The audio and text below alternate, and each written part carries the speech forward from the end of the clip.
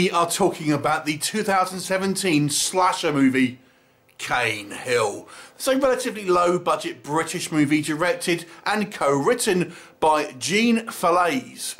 Now the story here is a tale as old as time. Yes indeed, you've heard this story many a time before. It's the old classic of a group of filmmakers decide they're going to go and film in an abandoned mental asylum and obviously stuff goes wrong. Oh, I wonder how many times we've seen this basic setup before. Quite a few, let me tell you. Now the idea being that there has been a variety of people that have gone missing and apparently there's this famed lunatic there called Chester who, according to legend, you know, roams the halls, etc. Now, I'm not quite sure what the actual documentary they're meant to be filming is actually about. There's no mention of ghosts or hauntings or anything like that, so I don't know if it's meant to be on this guy itself or whether it's actually just meant to be on the hospital. It's never really kind of made clear because it's the, the documentary filmmakers seem to dismiss any claims of uh, uh, this Chester as a kind of a, a lunatic, etc. Anyway, so they, the first hour of this movie is split between the getting to know the characters, getting to know this kind of like uh, this crew. Uh, then we have a kind of a Blair Witch style of interviewing a few kind of locals. And then we kind of get into the kind of the actual asylum itself. And then you'll start seeing, you know, is there something else there? There's a few kind of things that are just out of focus maybe. Is there, you know, some sort of like spooky stuff in the kind of the peripheral there. And then the last kind of 20 minutes is when obviously all the action happens. So far, so generic. So let's talk about what works with this movie first of all. I've got to say uh, the location here is going to be the main plus point here. It's actually filmed in this kind of very gothic looking old building and I think it really does add some kind of credence to this kind of classic style kind of uh, uh, you know, spooky kind of narrative that the movie kind of, the actual, the actual movie shoot really kind of portrays across on screen here. And now this isn't a found footage movie, despite the fact that a lot of these type of films are. And you know, it's nice to see a movie that is shot in a traditional style, kind of camera angles and stuff like that, with a you know more structured narrative than a, than a found footage as these most of these are. So it kind of makes a nice change on that.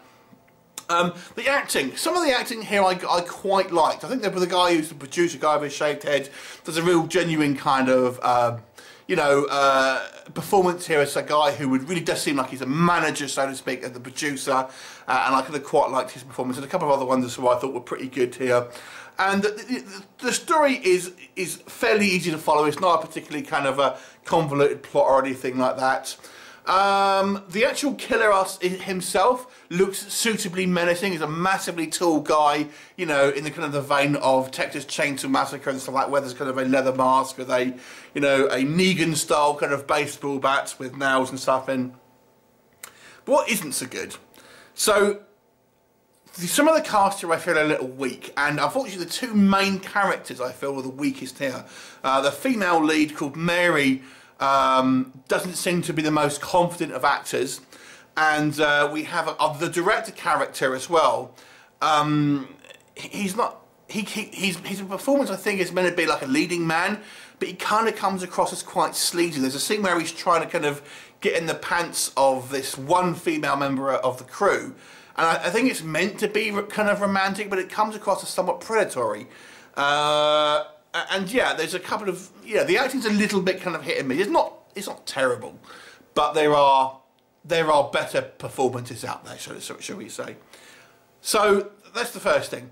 The second thing for me is um, it wastes a little bit too much time before we get to any kind of uh, real supernatural, not, not even supernatural, not until we get to any of the kind of like the, the horror elements. I mean, it's the last kind of like 15, 20 minutes, and it's a little bit too late then. I think I feel it should have started a little bit earlier. There's a little bit too much time before we can get to any real horror elements here. Um, unfortunately for me, the the actual horror element is the weakest part of this film as well, because I, I feel it ch chucks logic out the window. There just seems to be the acting really takes a dive. So, for, so for example, when we when, when our crew first first discovers the first body, they are way too calm and collected about it. Uh, their, their, their reactions simply don't make sense. What they do next simply doesn't make sense. There's no sort of sense of urgency.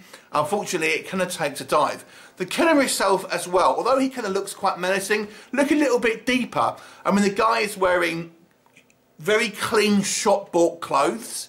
he's got like a tattoo and stuff. And what does this what does this slasher do? Is he out down the tattoo parlor getting uh, you know his, his tats done and stuff like that? He doesn't look quite as like he's been kind of living in this kind of abandoned hotel for the you know for the last kind of like 30 years or whatever. He looks like he's just a big guy who's dressed up as this. Uh, they should have just dirtied him up a little bit and maybe kind of like I don't know, just the kind of like the, the, the tribal tattoos and stuff were a bit like this isn't kind of like the Wild West. This is just like some sleepy English village. Um, so it just kind of like a little bit of attention to detail, uh, I felt would have gone a long way. The kills as well mostly happen off screen. There's a little bit of kind of like blood across the neck of a couple of things, and there are there are some prosthetic bodies which which look okay, but there's no actual real sort of good kills on screen. So if you're wanting the kind of uh, you know, good gore shots on, on, on, that, you'll kind of be a little bit disappointed. And like I said, I think that the, the horror element was a little bit too squidged into like in the last kind of 15, 20 minutes where I felt like it should have been uh, maybe kind of spaced out a little bit more and kind of um, just done in a, little bit more of a, a, a, believable way and kind of kind of ramped up the tension a little bit because I just didn't think it worked very well. Now, um, the actual technical side of this, going back to some parts, I feel all are all pretty good. I think the camera work here is good, the lighting is good. There's a couple of audio audio issues, audio mixes and stuff like that, which I didn't think was, was particularly well done. But it looks like it's professionally made, but kind of behind the camera. So overall, it's a pretty much meh, mediocre, generic, average kind of slasher film. So if you are a huge slasher film and you, just want to watch every kind of slash you can get your hands on, then there are a lot worse than this. I will say that, you know. But there's nothing that makes this movie stand out, I don't think. I mean, it kind of purports to be a, a, a, a true story, but, um, you know. Anyway, but uh, it's it's it's just very generic. I mean, the story is is really just a kind of like a rehash of of anything, anything any number of movies that you've seen before and there's no nothing in this movie that kind of sets it apart. No flourishes, no artistic flourishes that I feel really work. The acting is a little bit of a mixed bag. The killer is kind of a little bit disappointing, um, but never to the. It's never terrible, but just kind of uh, okay at best, I would say. So yeah, if you're a complete like slasher maniac and you just want to watch every single slashers, you'll probably get along with this one. It'll probably be watchable, but I don't feel it's it's essential viewing for anyone who's a little bit more discerning with their kind of like their horror movies. So as such, I will give this movie a simple, bog standard 5 out of 10, an average movie. So there you go. Have you seen it? What did you think of it? Leave me a comment and I shall look forward to seeing you next time. Bye for now.